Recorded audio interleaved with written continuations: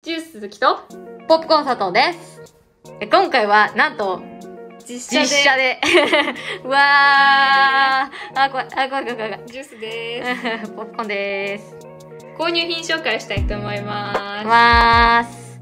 ということで、私の書籍の紹介と、うん。あの、ジュースさんは電子で買ってるので、後で電子の紹介をしたいと思います。はいですね。好きで好きでしょうがないみたい。あの、同人誌が何冊か出てて、それの書籍版ということで、うん。ちょっと購入させていただきました。まあ、同人誌も買ってたんですけど、で、うん電子で購入してたんですけど、まあ、ちょっと紙媒体になるということでね、うん。買わずにはいられないということで、電子で同人誌を買ってたのね。そうなんですあら、珍しい。電子で相当好きやん。相当好き。はい勇者のの愛が重すぎる過去って、うん前世、昔前世。前世で愛し合っとっったんよ。ああ、前世もそ好き同士だう。でもね、こっちは記憶あるんだけど、こっちは記憶ないの。ああ、悲しい。そう。だからもう、俺が惚れさせるっていうね、復讐代行ひずみさん。この人がね、まあちょっとどうしようもない、あの、クズ男ということで、いろんな女の人、もう収録で違う女子とうん。会うみたいな。元、あの、奥さんがいたんだけど、まあ、そのも、元奥さんに、うん。それの復讐代行ってことね。そうそうそうそう、はいはいその攻めの人が頼まれて、まあ、復讐うん。するっていう。で、こう、ちょっとメス落ちしちゃうっていう、ね、本当に、あの、エッチでいいです。つか、疲れによく効く治療法？うんうん。疲れによく効く治療法いいね。ちょっと、作作者さん、者名で笑ってしまう。作者さんの名前がすごい結構、あのインパクト大。攻めが受けになるっていうシチュエーションもだいぶ好きで。なんか付き合ったら、この、相手も霊が見えちゃう体質になっちゃうみたいな。はい。元たちの受けの子は、体だけの関係にとどまっちゃう、いつもみたいな感じで、そこの、なんていう、こう、いざこざもいいですし、かといってはこちらはのんけだからね、うん。深い愛で、あこの子と結ばれるというね、最高の一品になっております。すべてがちぐはぐなんやな。大好き、すす先生の作品ですね。先生。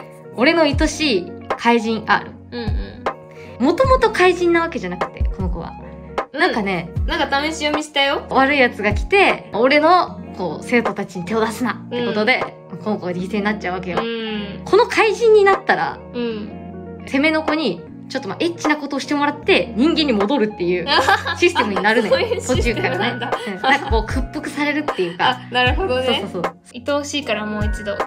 書いてある通り、ループものね。うん。いや、ループものはね、大体ね、いいよ。エモエモ。うん。し、しネタもあるんだけど、うんでも最終は、ハッピーだから安心して見てほしい。本当にそう。ねうん。全不女子には楽しめる作品と思います。大丈夫と思う。君の夜に触れる。これはね、人を殺せない殺し屋と盲目の少年っていう設定。もう設定で、うん。もうもうなんか、切ないやん。ね。いや、いい。そう、すごいね、ずっとずっと絵が綺麗。絵画をずっと見とる気持ちになるぐらい、もうすっごい綺麗なんよ。そうそう。で、うエロ描写があんまり少ないから、ん少ないから、もうストーリーがしっかり見たい、不女子に向けてって感じいや、かな。本当に。買った本も、あの、何冊かあるんですけど、うん、読んでないやつそうそう読めてないのでまだ発売が10月後半だったりするのがあるからね。こう今回はね、あの、購入品紹介をしてみました。いや、まさかの実写ということでね、うん。ちょっとためらいはあるんですけど、まあ、これがね、もし、需要があればまた需要やがあれば、ります。そうですね。高評価であれば、また購入品紹介をはーい。していきたいと思います。キュン。キュン。はい。じゃあ、今回ははい。この辺で終わりたいと思います。はーい。せーの。バイババイバーイイ。